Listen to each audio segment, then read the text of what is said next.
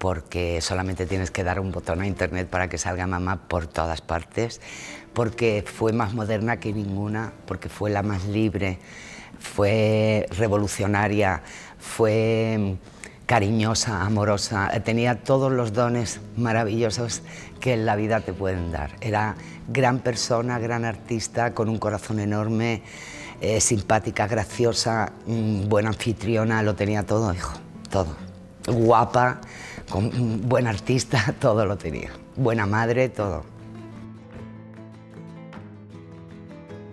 Qué difícil, pero se diría fuerza, temperamento, ¿no? Ya lo dijo Pemán, ¿no? Torbellino de colores, no hay en el mundo una flor que se mueva mejor que se mueven las flores, o sea que ahí está todo dicho ya. Para mí es un poco surrealista porque realmente para mí es mi madre y, y es mi madre la que, la que me daba besos, la que me cuidaba, la que me acostaba en la cama, la que se metía conmigo y me daba cariño, se preocupaba de mis cosas. Entonces, nosotros somos un poco abstractos en eso, ¿no? Pero sé diferenciar perfectamente de mi madre artista a de, de mi madre madre, ¿no? Pero creo que para mí ella es más madre que Lola Flores, ¿no? Para la gente es Lola Flores, pero para mí es mi madre. Bueno, ¿sabes qué pasa? Que nosotros hemos sido muy conocidos desde pequeño, entonces desde que tengo un poco de sentido común todo el mundo me cogía, ay, la hija de Lola Flores, no sé qué, entonces me di prontísimo cuenta porque estaba cantado, vamos, no, no te podías escapar de ahí para nada. Pero mis padres eh, eran artistas cuando se subían al escenario, luego cuando bajaban eran personas muy bonitas, muy cariñosas, muy libres y, y yo tengo mucho amor y mucho cariño y mucha protección de ellos. Nos han hecho personas felices y, personas fuertes, ¿no? Para luego desarrollarnos en la vida. Ya te digo, sé perfectamente diferenciar a la madre y al artista. Entonces, mi madre para mí es mi madre y no tengo ninguna carencia de ella para nada en absoluto. Mi madre era muy espontánea y lo decía todo y no se cortaba nada y no tenía miedo a ser como ella era, ¿no?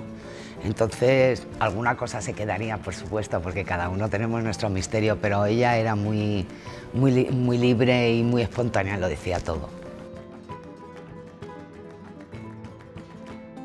Bueno, yo pienso que mi madre es un ángel muy grande que tengo a mi lado, junto con mi hermano y mi padre, tengo tres ángeles a mi lado pero mi madre siempre está conmigo, siempre debe estar un poquito harta de mí porque la pido muchísimas cosas y estoy todo el día diciéndole mamá esto, mamá lo otro. Realmente toda la energía que tenía mi madre para mí es como mi comida, ¿no? como mi aire, mi respiración. ¿no? Yo me identifico muchísimo con mi madre, tengo todo ese temperamento que eh, ella tenía y sobre todo me identifico muchísimo en los escenarios, que es donde donde yo canto y bailo y, cuando yo me vi ya mm, un poquito ya de mayor y dije, pero si hago más o menos lo que hacía mi madre, ¿no? porque me parezco mucho en sus movimientos, en cómo me muevo, eh, me identifico mucho con ella. Ella era muy perfecta, ¿no? Yo creo que ella no habrá otra Lola Flores igual. Para una Lola Flores, yo siempre digo, para una Lola Flores que ha habido, que me haya tocado mi madre, para mí es un privilegio, ¿no? Tenía muchos dones. Yo puedo tener cosas, yo también tengo muchas cosas de mi padre, porque mi padre era un gran artista también y, y yo soy muy mezcla de mi padre y de mi madre. Pero mi madre, ya te digo, es que era buena madre, buena artista, buena amiga, muy buena anfitriona, generosa, cariñosa, graciosa, eh, lista, eh, rápida. Tenía todos los dones. El cielo le dio todos los dones. Me acuerdo de ella, de movimientos, sobre todo ya te digo en el escenario, ¿no? Cuando canto y bailo me, me, acuerdo mucho de ella.